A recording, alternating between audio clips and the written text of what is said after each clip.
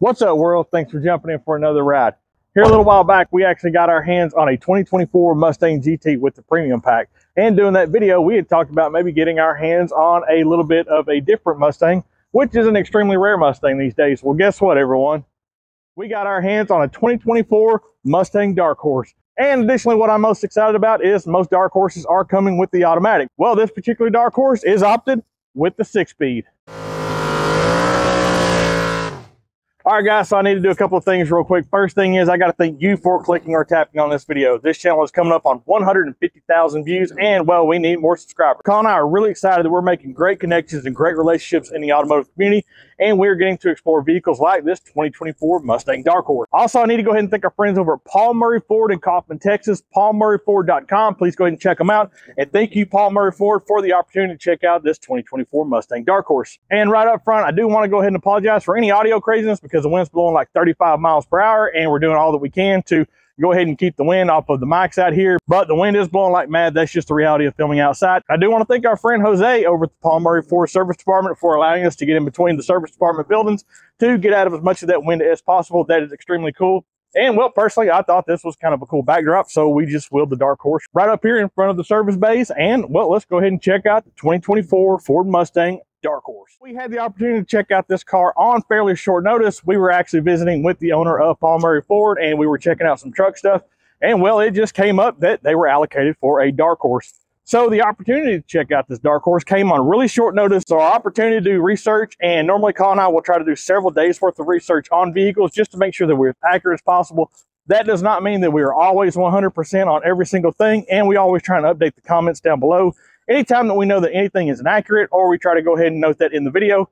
But we didn't get to do a ton of research on the Dark Horse, although we do have some pretty good information on the Dark Horse. So I'm, I'm going to make this super easy. I want to go ahead and grab the dealer sticker off of the car because we just had it setting up on the dash. And I'm going to go ahead and share all the information for this 2024 Dark Horse right off of the dealer sticker. That way we just make it quick. And as we're doing that, just as a reminder, we did do the video on the 2024 Ford Mustang GT with the Performance Pack. And in that video, we did cover a lot of the standard features and the options available for the 2024 Ford Mustang lineup of cars. So I'm not going to go back over a lot of those details. I'm going to go ahead and put the link down in the description below. That way you can check out that video for the Ford Mustang GT and you can see what a lot of those standard and available options are. So really quick, I'll just run over a few of the details of this dealer sticker and I'll go ahead and put it up on the screen. That way, if you want to, you can just pause this video and you can go over all the details. Now, remember at the time of this video, this car is currently on the showroom floor at Paul Murrey Ford in Kaufman, Texas. So if anyone is interested in purchasing a very rare 2024 Ford Mustang Dark Horse, please do me a favor, reach out to Paul Murrey and tell him that the guys over at Downshifting 76 sent you. So the color of this 2024 Dark Horse is going to be the blue ember metallic and the interior is going to be that standard Dark Horse black and blue combination and we'll check that out when we jump in. And again, this car is equipped with the Premier Color Accent, which will set you back 3000 $1,995. This Dark Horse is also equipped with the Bang & Olufsen 12-speaker audio system. Now, this particular Dark Horse is equipped with the 19 by 10 and a half inch wheels up front with the Pirelli P Zeros, and in rear we have the 19 by 11 inch wheels. The tires are a staggered size with the 305 30 19s up front and the 315 30s out back. Now, MSRP on this 2024 Dark Horse is $76,850. Now let's go over what you're going to get with this Dark Horse. Now I'm going to do my best to break this up into chapters, but if you'll stick around to the end of this video, after getting our hands on that 2024 Ford Mustang GT with the Performance Pack, as well as we did a comparison to my personal 2014 Shelby GT500, I'll let you know where I believe this Mustang stands in the lineup of Mustangs and really who I feel is the primary consumer of the Ford Mustang GT, the GT with the Performance Pack, and the Dark Horse models are. Now, the 2024 Ford Mustang Dark Horse is equipped with the variable cam timing 5-liter V8 engine. And that V8 engine makes 500 horsepower and 418 foot-pounds of torque. Now, the Performance Pack GT also makes 418 foot-pounds of torque, which tells us one thing, that the primary horsepower improvement on the Dark Horse is coming from two things. A little bit of ECM tweaking and additional power on that top end, because, well, the Dark Horse will rev all the way to 8,000 RPM. And it's extremely impressive to me personally, if you break that down, that it makes 100 horsepower per liter. Now, the Dark Horse can be equipped with an automatic. However, ours is equipped with the preferred TR3160 Tremec transmission. And I do have to say that that Tremec transmission is going to be quite a bit more durable than that MT82 that comes standard equipment in the GT package. Now, the Dark Horse equipped with the six-speed is going to be equipped with the 373 limited slip differential. So the two primary package options on the 2024 Mustang Dark Horse are going to be the Dark Horse Appearance Package and the Dark Horse Handling Package. both of which this car is equipped with. But as we stated before, that this particular 2024 Mustang Dark Horse is equipped with that handling package and the optional 19 by 10 and a half up front wheels and the 19 by 11s out back. Now there is one option as of delivery of this vehicle that I do not know if it's available at this point, but it's supposed to be a late year option and that will be a full carbon fiber wheel up front and back and it's going to be that same size so it's going to be 19 10 and a half by 1911s. There will be a full carbon fiber wheel at that point. Just know that that is going to be a late model year option. But really quick, just like we always do on this channel, we want to give you a really quick overview of the exterior of this vehicle and we'll go over the inside. And at that point, I'll go ahead and let you know where I really think that this Dark Horse stands out in the lineup and who the appropriate consumer is for this 2024 Mustang Dark Horse. And the first thing as I approach the 2024 Mustang Dark Horse, the first thing that catches my eye is the absolutely ridiculous Brembo brakes behind those 19 by 10 and a half inch wheels. And they are absolutely massive. Six pistons in the front. We have four pistons in the back. They do have an absolutely great color scheme with that blue on blue. I really like the brakes. And additionally, looking at the RS Pirellis, this is a much, much more aggressive tire than what comes on the GT. This is actually a track inspired tire that's on this car. And I have to tell you that the handling of those P Zeros is absolutely phenomenal. And I've talked about Pirelli tires before being a personal preference, but that particular model of Pirelli is absolutely amazing. And as we make our way around the back, you can see that we have that quad exhaust. And so before we continue around the rest of the car really quick, let me go ahead and cut in some video and some amazing audio of what this car sounds like in the different exhaust modes.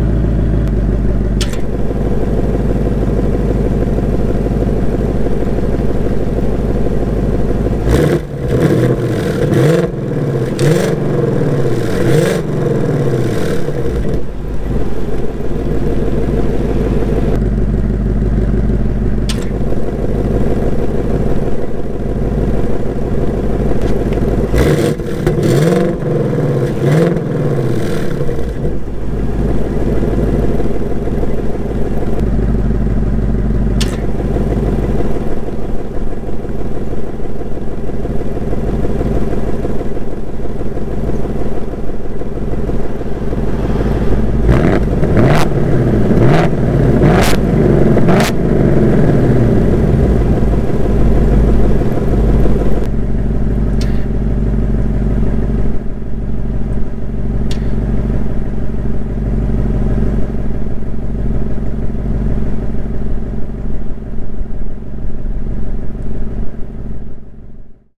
see, like most standard Ford vehicles now, we have the easy fill, so the capless fill for the fuel tank. And as we make our way around, you can see that we have those absolutely massive P Zeros out back. I really do love the way those tires look. They're absolutely great. I got to be honest, comparing this car to my 2014 Shelby GT500, I absolutely love my GT500, but I actually wish that it had this stance as compared to what it currently looks like or what can actually fit under the 1314 GT500s. This car actually reminds me more of being a direct competitor with some of those higher end Corvettes and Vipers out there with the size and stance of these tires. And I really wish my GT500 had that. Not to put down my GT500, it's just where the Mustang has come. And it's come a very long way in the stance department. I think it looks absolutely fantastic. And so I think that is really my first impression of the exterior. And so really quick, I'm gonna swing around, open the hood, and I'll give you a shot of that five liter V8. And one cool thing about the 2024 Mustang GT and Dark Horse that I had mentioned with that GT is the fact that that vent is functional. And so most of the time those vents are just an aesthetic feature, but these vents are actually functional to help cool that V8 engine.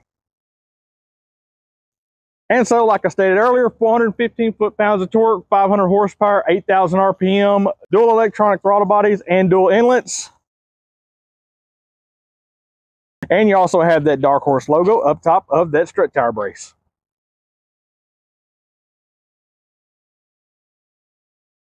The amazing part about this engine is it idles like your daily driver if you're going to go to work and back and then at 8,000 RPM it makes absolutely fantastic power and it does it throughout the RPM curve.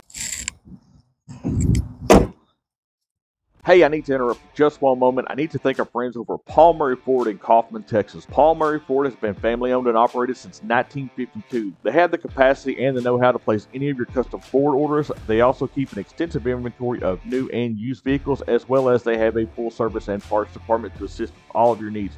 So please do me a favor, check out the guys over at paulmurreyford.com. Also, I want to thank you for clicking or tapping on this video really quick. We truly believe that time is our most precious asset. And so you spending time with us on this channel is truly appreciated. Now, if you haven't already, hit the subscribe button, hit the like button, make sure that you hit that bell notification so that you're notified anytime we upload the latest content. And now back to our view and tour of the 2024 Ford Mustang Dark Horse. So down the door sill, we got that Dark Horse logo. And additionally, this car is equipped with the standard Dark Horse blue with blue stitching and black insert interior. And I absolutely love this interior. To be honest, if you'd have told me that anything was going to be blue and black, I would have kind of questioned it. But this car absolutely comes out amazing with that blue and black. I do like the color scheme of this car. The next thing that sticks out is the race inspired steering wheel with the blue stitching. I absolutely love the steering wheel on this car. In fact, I really like the Alcantara leather steering wheel in my GT500, but comparing it to this steering wheel, I have to say that I'm kind of leaning towards this steering wheel as my preference because of the race inspiration. And for whatever reason, unless it's a vintage car, I really like the thick steering wheel as opposed to the little skinny steering wheels. I don't know why, just a weird personal preference, but I really like to feel this steering wheel in hand. And we've just driven this car around the parking lot a few times. We haven't gone out and really aired this car out. And this car is supposed to be delivered to someone, so it's really not our place to go out and air it out. This is definitely not a press release car. So we just got lucky enough to get our hands on it. So let me jump in real quick. We'll kind of fire it up. We'll go over through a few basics and I'll let you know where I believe this car lines up with the consumer. So obviously the first thing that catches your eye about this car is the display. And the display in this car is absolutely gorgeous. So we know that the passenger door is ajar and we know that I don't have my seatbelt on, but we're not going anywhere, so we're not too concerned about that. Other than that, we have the exhaust modes that we had talked about, and I absolutely love the exhaust modes. All the instrument displays, the track apps, everything is basically the same as the GT, so I'm not going to go over the, all that again. I can reference you over to that Mustang GT with the performance pack video, and you can check all that stuff out there. I just really want to focus on what exactly is the Dark Horse, since some of the stuff is the same with the GT. And over on the dash, you can see that we have that Dark Horse logo with the production number. One of the things that our GT did not have that I think is really cool about this car since it is equipped with the six speed is the shift indicator. So we can come over here, we can set our shift light, we can set our tach for whatever RPM we want to shift at. I really think that that is an absolutely cool feature. So we can also set it for different track applications where we want that set.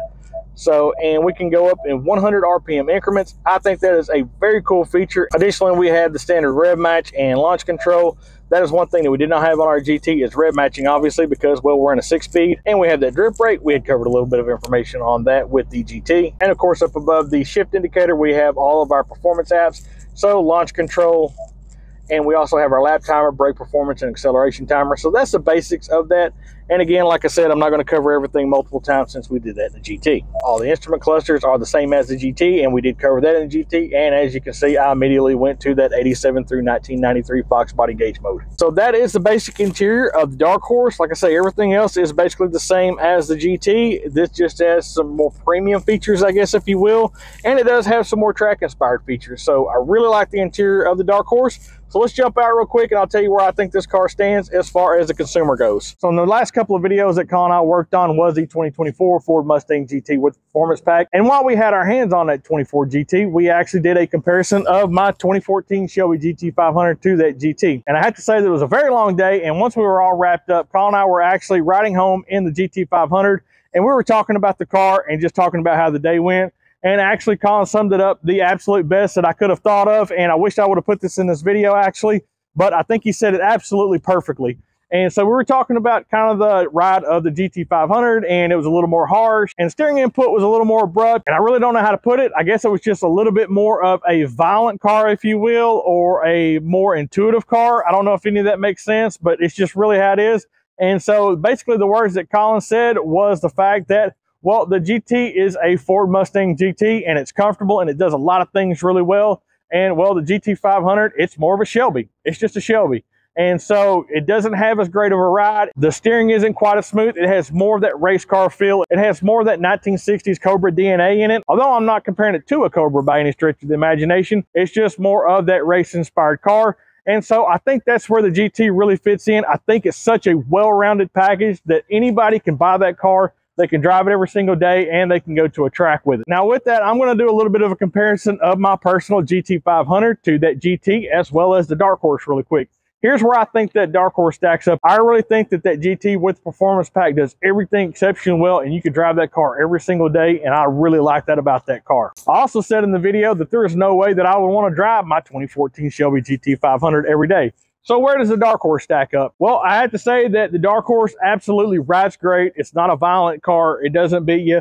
And again, we're not going to get this car out and put a ton of miles on it because this is someone else's car. So we've just kind of gone around the parking lot and spent a little bit of time with it. So I can't tell you a great detail as far as driving experience goes, because we're not going to go out and beat on someone else's car. Again, this is not a press car. But what I can say is that the Dark Horse is $20,000 more than the Ford Mustang GT with the performance pack. So I think there's two choices to be made. One with the Dark Horse is, do you want to spend $20,000 extra? And if you do want to spend $20,000 extra, what are you getting for that $20,000? Well, you're getting absolutely massive race-inspired brakes. You're getting race-inspired wheels. You're getting race-inspired tires. You're getting absolutely amazing technology when it comes to some of those track apps and electronics. And additionally, I also have to say for that $20,000 extra, well, you're getting that Tremec six-speed transmission. So if you're going to buy a Mustang that's going to be basically a daily driver that may go every once in a while to a track, maybe drag strip, autocross, road course, the GT will do fine. You can do some aftermarket mods to it. You can spend a couple extra bucks here and there just don't go crazy with it because at the end of the day, it's probably not going to be worth it if you're going to be looking at spending another 20 grand.